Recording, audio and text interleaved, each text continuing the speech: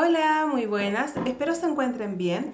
Mi nombre es Ana Morales, soy docente de lengua y literatura y este video está preparado para segundo año medio.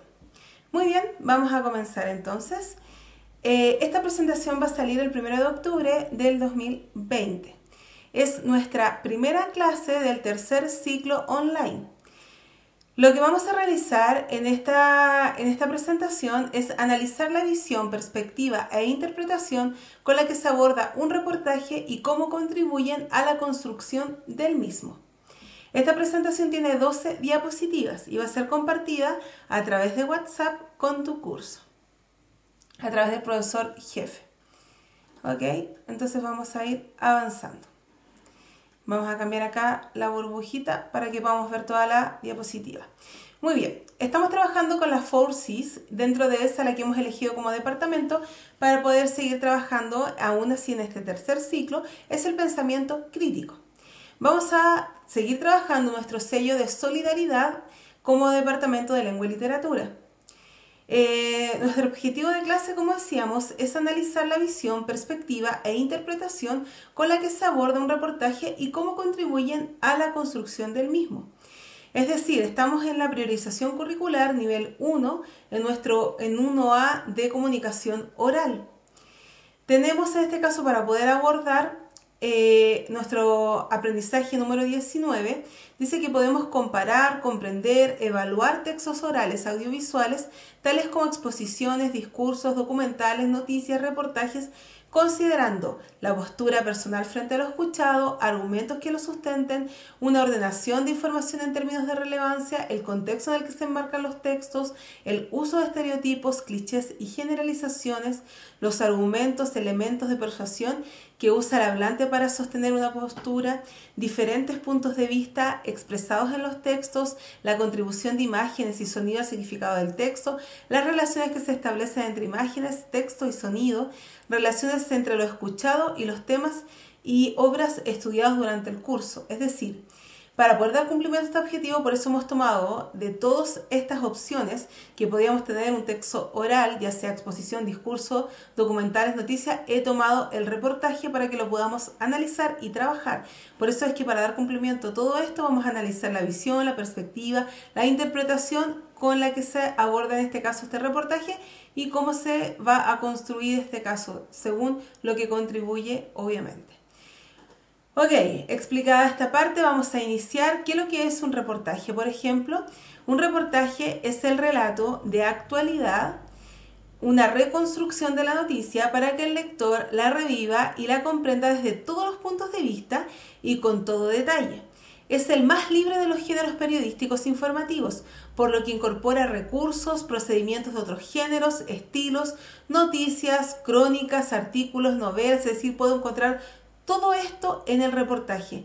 Por lo tanto, este reportaje siempre lleva el sello de lo que es vivido y la firma de quien lo redacta. Muy bien, vamos entonces a la siguiente diapositiva. Los recursos lingüísticos, voy a ubicar por acá la burbuja para que podamos, en este caso, eh, trabajar mejor. Sí, ahí ocupa menos información. Ok, los recursos lingüísticos y no lingüísticos en un reportaje son los siguientes. Nos encontramos con los recursos no lingüísticos como el uso de la música, los efectos de sonido, los encuadres, los planos, la selección del color, las tonalidades, el color blanco, negro, sepia, uso de imágenes en movimiento, estadísticas y otros que pudieran evidenciarse en el reportaje seleccionado. Es decir, lo no lingüístico es todo aquello que no es verbal por lo tanto, tanto la entonación, toda la música, los efectos, por eso se dice que son no lingüísticos. En cambio, los lingüísticos, como modalidad de la enunciación, se encuentra asertiva, interrogativa, exclamativa, imperativa, modalidad de enunciado, principalmente modalizadores epistémicos, deónticos y apreciativos, así como los elementos léxicos o las palabras axiológicas con carga valorativa, sustantivos, adjetivos, adverbios, locuciones, sufijos, apreciativos como oso, hito, illo, on, ote, aco, aso, ucho, etc figuras retóricas, entre otras que pudiesen apreciarse en el reportaje. Es decir, yo voy a utilizar todo lo que está en mi mano que sale de la boca, es decir, lo verbal. Puede utilizar adjetivos para poder de, eh, hablar con el entrevistado o para contar una historia, como también puede usar eh, en este caso adjetivos. Puede hacerlo de manera exclamativa, dando mucha emoción, o de manera interrogativa, también preguntando qué es lo que fue eh, en este caso lo que ha sucedido, etcétera, etcétera. Con respecto a eso se refiere a lo que es lingüístico y a lo no lingüístico. Recordemos, todo lo que es no lingüístico son eh, en este caso desde la música hasta los colores, hasta en este caso a la selección, en este caso eh, de los planos, los encuadres, y sin embargo todo lo lingüístico, lo que sale de la boca, es decir, todo lo verbal, lo que voy a ocupar en un reportaje. Ok, nos encontramos entonces con la perspectiva o punto de vista, que son los propósitos explícitos e implícitos de un reportaje. Cuando hablamos del punto de vista, significa desde qué lado se va a abordar este reportaje, por lo tanto va a depender desde qué punto quiero eh, darle como, en este caso, a la perspectiva, a la formación, de qué forma lo voy a conseguir. En cambio, en el caso de lo que es el propósito, explícito o implícito significa que ese propósito puede estar de manera abierta y ser evidente en el reportaje, como también puede ser de manera oculta, escondida, de eso sería de la forma implícita, de que ese, si esa perspectiva, ese punto de vista está escondido o está a la vista. Por lo tanto, hay cuatro y puedo encontrar los cuatro en el mismo reportaje como puedo encontrar uno, dos o tres. 1, 2 o en este caso 3. Por lo tanto, el primero es informar, el segundo es describir, el tercero es narrar y el cuarto es investigar. Puedo, como les digo, encontrar uno o los cuatro. Depende de la perspectiva que quiera abordar, puedo encontrar y unir las cuatro partes. Lo primero es informa de un hecho de interés para la sociedad, cumpliendo así la función básica del periodismo. Número 2. Describe el suceso aportando el mayor número de datos precisos. Número 3 narra el acontecimiento de estrecha relación con la descripción. Investiga, pues sin investigación no hay reportaje. Por lo tanto, como decíamos, podemos encontrarlos todos o de a uno. Ok, vamos a la siguiente diapositiva y nos encontramos acá en nuestro ya desarrollo. Hemos salido de nuestro inicio y pasamos al desarrollo de la clase. Por lo tanto, Mientras visualizas el reportaje, es decir, vas a mirar este reportaje que te voy a dejar en la diapositiva a continuación, pero mientras tú lo visualizas, quiero que puedas estas preguntas resolverlas en tu cuaderno. Recuerda que no debes enviármelas a ningún correo ni a ninguna parte, las podemos conversar en la retroalimentación después que va a existir de esta actividad. Sin embargo, lo que sí me interesa es que las puedas utilizar porque después van a aparecer en la evaluación. Con estas mismas preguntas construyo después la prueba.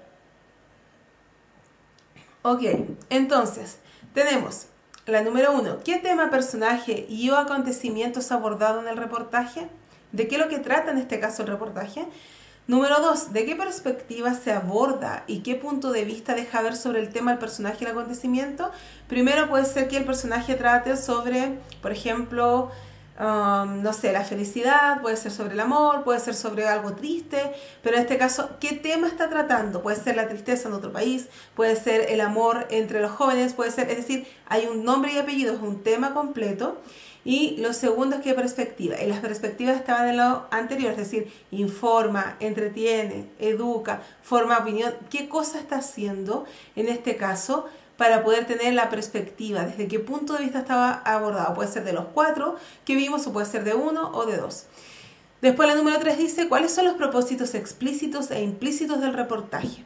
Ah, el propósito, como yo ya encontré que la perspectiva era informar, por ejemplo, entonces su propósito debe ser informar a todas las personas que son parte de tal asunto sobre tal tema y sobre tal asunto. Es decir, tengo que completar esa respuesta. ¿Qué visión e interpretación se propone sobre los personajes, acontecimientos y temas tratados?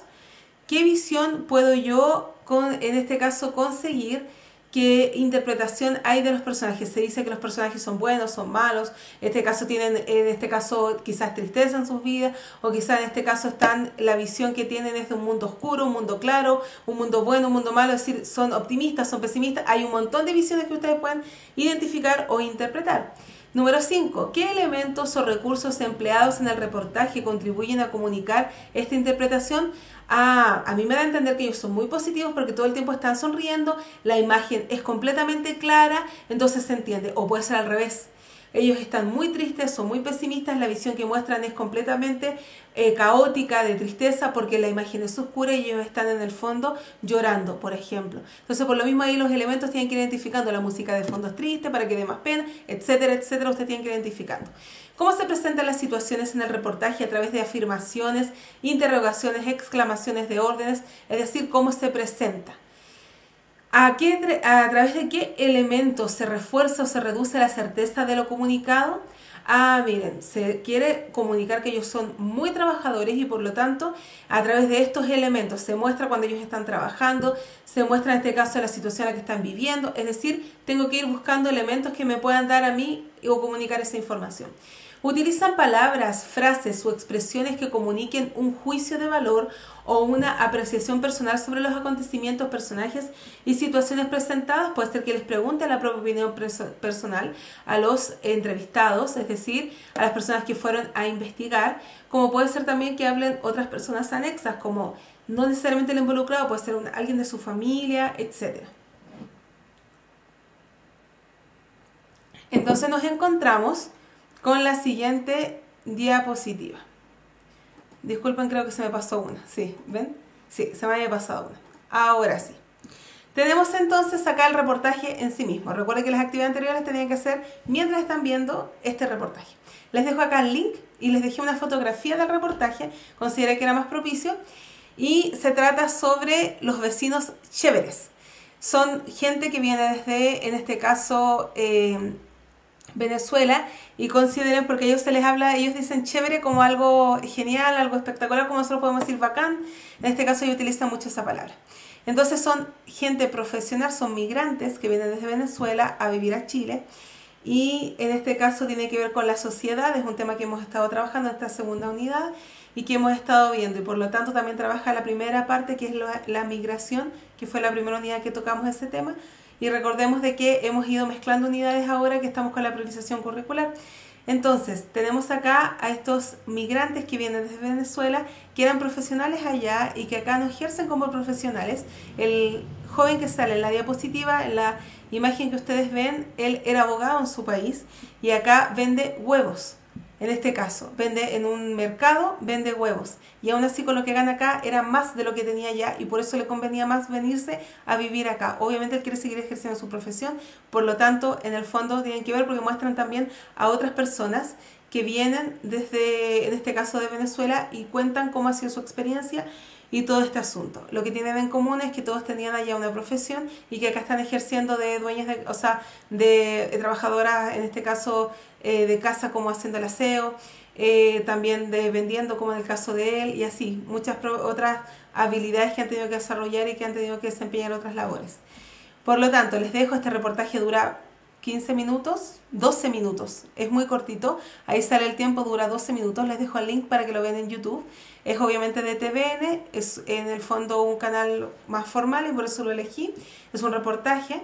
Y después de ver este reportaje les dejo nueve preguntas para que ustedes puedan, en este caso, eh, tener eh, mayor comprensión del reportaje y puedan prepararse de una mejor forma para la evaluación. Lo primero, ¿qué efecto produce un recurso lingüístico o no lingüístico identificado en el reportaje? Recordemos que al principio de la presentación hemos visto los recursos lingüísticos no lingüísticos. Tanto los lingüísticos, en esto tenía que ver con lo que es verbal, la entonación, las palabras, todo este tipo de cosas, y lo no verbal que tiene que ver con las imágenes, los colores, eh, la música y todo esto que es la, lo que adorna un reportaje y que no es la palabra hablada. ¿Con qué propósito se habrá seleccionado el uso de algunos recursos en vez de otros? Es decir, ¿con qué propósito yo, en vez de mostrar si la situación es triste, entonces, ¿por qué yo elijo mostrar una música triste? que la persona en este caso tenga un ambiente como más oscuro detrás, o en este caso cuando algo muy feliz le presento con claridad, una música alegre, etcétera, etcétera. Es decir, ¿con qué propósito elijo esto sobre esto otro? ¿Qué efecto se produciría en lugar de algún eh, recurso lingüístico o no, qué efecto en el reportaje si hubiese sido distinto. Por ejemplo, ¿qué efecto produce que yo utilice la música triste cuando alguien está diciendo algo triste? Intento que la persona que está escuchando pueda también empatizar, sentir tristeza y así identificar elementos, en los efectos que producen esos elementos. ¿Qué diferencia de sentido produce la selección de un recurso lingüístico o no lingüístico de otro? Es decir, ¿qué sentido da? ¿Qué diferencia existe de un recurso que de otro? ¿Cómo estos recursos eh, influyen en nuestra percepción, en nuestra interpretación del tema, en nuestro, en este caso, cómo vemos a los personajes. Porque en algunas series o en unos realities, por ejemplo, cuando viene alguien a decir algo pesado y es alguien que se sabe que es alguien desagradable y le colocan una música que es acorde a esa situación, ¿por qué se hace? ¿Qué, qué efecto provoca en el público? El público hace que el público lo odie más, que lo deteste más en este caso, o también que alguien que es muy bueno y que pase algo triste, entonces la gente empatiza, le da más pena, le entiende o le perdona quizás algunas especies como de errores que puedan cometer bajo ese punto de vista. ¿Por qué la gente cuando va a dar conferencias de prensa, por ejemplo, y quiere demostrar que no es culpable de alguna situación, se visten de colores claros o utilizan en este caso poco maquillaje, etcétera, etcétera? Tiene que ser porque quieren dar una apariencia de bondad, etcétera, etcétera. ¿Cómo contribuyen en este caso, o, perdón, cómo construyen eh, argumentos mediante los recursos lingüísticos y no lingüísticos? ¿Cómo se cómo se pueden construir argumentos.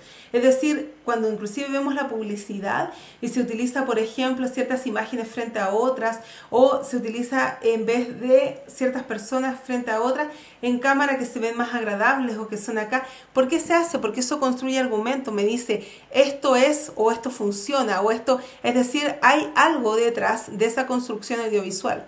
¿Por qué pueden ser considerados como recursos de persuasión? La persuasión tiene que ver con intentar convencer a otro, pero de una manera como un poco más sentimental. Es decir, le puedo convencer a otro que yo estoy muy mal y que la estoy pasando muy triste si es que lloro, por ejemplo, frente a la cámara, si es que escuchan una música triste de fondo y si es que me veo sin maquillaje y unos colores claros en mi ropa. Es decir, hay un montón de estrategias que se utilizan detrás de para persuadir y también se utilizan para poder convencer o dar más gracia, etcétera, etcétera, etcétera. Cuando algo es entretenido le colocan colores muy vistosos, por ejemplo, fucsia, eh, colores muy, muy visibles, neón, colores fuertes. Es relevante analizar estos recursos lingüísticos y no lingüísticos en los mensajes de los medios de comunicación. ¿Por qué? Es relevante porque me ayuda a mí a seleccionar mejor la información que recibo y distinguir la verdad, en este caso de la ficción ¿Cómo es el conocimiento que podemos adquirir sobre estos recursos que nos puedan ayudar a analizar estos mensajes? Ah, yo ya sé que cuando, si ahora yo empiezo a analizar, descubro que utilizan ciertos recursos lingüísticos para convencer a la gente de tal información o de tal, entonces me sirve porque así yo soy más analítico y no me creo todo lo que sale y cuando me están mintiendo soy más, en este caso, un poco más abierto a entender de que eso es falso o eso es Correcto, por eso es importante desarrollar la capacidad, en este caso, de análisis.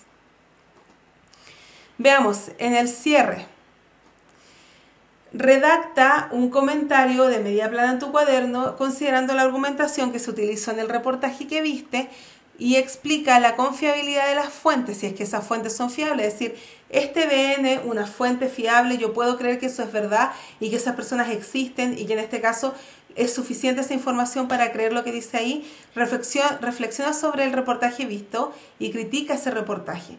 Puede ser entonces que ese reportaje se hace para que la gente no discrimine, por ejemplo, al extranjero y para que se pueda poner en su lugar que quizás el que le está vendiendo los huevos en el mercado es una persona educada que en este caso está pasando un mal momento y que se ha, ha tenido que salir de su país para poder mantener a su familia a la distancia, etcétera. La idea es que buscan que uno empatice con ellos o que si usted, por ejemplo, está viendo el reportaje y emplea gente, los emplee, les dé una oportunidad, que son trabajadores, etcétera, etcétera, etcétera. Es decir, hay algo detrás de eso, ¿cierto? Y por lo tanto la idea es que ustedes puedan criticar media plana su cuaderno, que lo puedan ir escribiendo. Entonces, vamos a la siguiente. Reflexiona. Haz siempre tu mejor esfuerzo Puede que no siempre ganes, pero siempre vas a estar orgulloso y satisfecho de haber dado todo lo que estaba a tu alcance. Por lo tanto, vamos a la siguiente. Esta es nuestra actividad del sello institucional de solidaridad. La solidaridad sustenta en parte el compañerismo, la amistad, la lealtad y el amor. Estas relaciones son las que permiten a la persona realizarse personalmente. Allí su importancia. Por lo tanto, es importante para que tú seas pleno y seas completamente, en este caso, feliz, es que puedas ser solidario, porque eso te va a dar mejor conexión en tus relaciones sociales y amorosas y todo tipo de relación interpersonal. La actividad que te invito, que te comparto para que puedas experimentar la solidaridad es comparte con algún miembro de tu familia algo que sea apreciado para ti y pídele que comparta algo que sea apreciado para él o para ella, es decir, intercambia.